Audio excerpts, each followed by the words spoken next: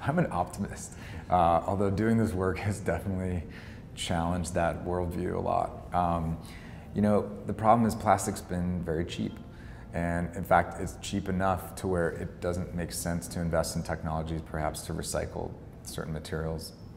Um, and certainly doesn't make sense to buy and use recycled materials when virgin plastic is cheaper.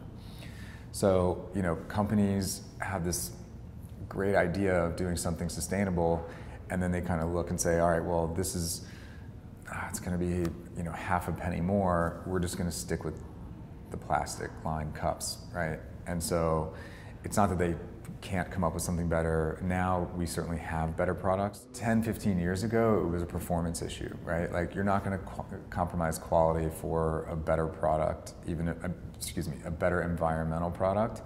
Um, you know, if the cup leaks, it doesn't hold heat or whatever it might be. I mean, it's understandable that a, a company might say, hey, we're not willing to compromise on that quality quite yet.